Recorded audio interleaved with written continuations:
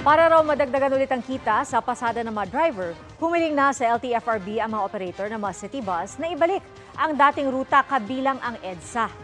Nakatutok si Joseph Moro.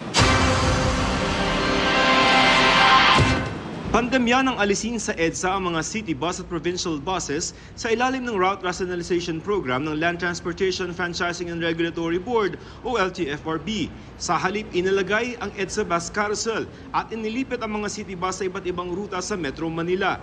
Sa ilang ruta, kalaban ng mga bus sa mga jeep.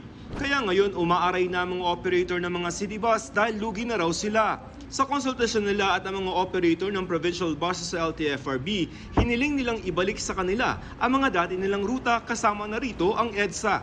Gusto rin ng ibang bus operators na tanggalin na EDSA bus carousel at bike lane para bumalik sila sa dalawang pinakakanan dulo ng EDSA. Yeah, sana kasi ano eh, um, well, before we, bago nalipat yung mga ra- nabigay sa amin yung mga GCQ routes, lahat kami, we already started the, with uh, refleeting dahil sa Transport Modernization Program.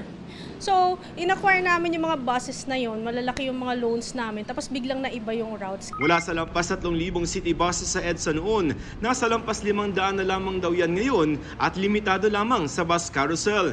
Di na siguro sir si ano, pa-traffic na. Pwede naman po. Mahirap na rin magsasakay ngayon eh. Katulad niyan, nag-aagawan na rin sa ano, laging pila.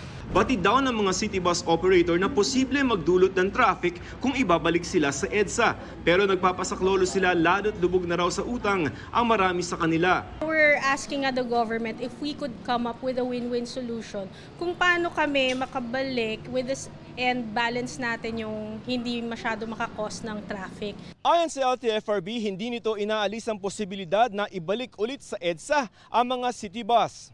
Pag hindi yan kumikita, it, it now becomes a dying industry. So it is the duty of LTFRB to protect the, the industry. We may not totally open EDSA for them, but we may have probably an additional lane for them.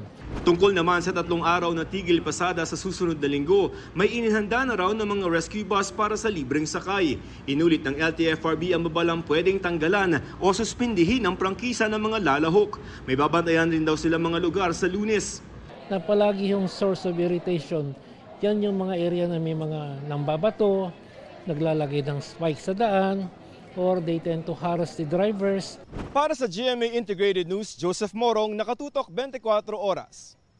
Good news mga kapuso! Maaari niyong mapanood ang 24 oras at iba pa naming mga newscast sa aming YouTube channel. I-click lang ang subscribe button na lalabas sa screen. Sa mga kapuso abroad, maaari niyo kaming masubaybayan sa GMA Pinoy TV at sa www.gmanews.tv.